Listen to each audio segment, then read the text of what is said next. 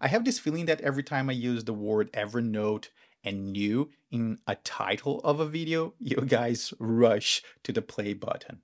Is that true? is that what happens? if it is, click the like button. Let me know. Let's start with code block with syntax highlighting. Remember, you have to be running Evernote 10.91.1 or above.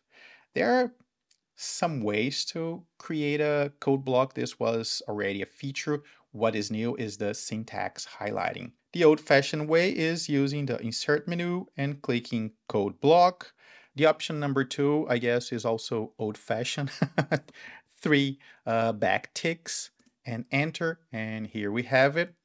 And the new option is using the slash command and code block. Inside here, we now have formatting by language, or you can simply paste a text here. It automatically detected HTML and XML, and it has the syntax highlighting. I really don't know if this is correct because I'm not a developer. so please tell me in the comments below. By the way, this is the code for my newsletter. It's a monthly newsletter. It's just one email and all you get is all the links to everything I published during the previous month. Okay, let's take a look at the other new feature. Again, we have three options, insert quote.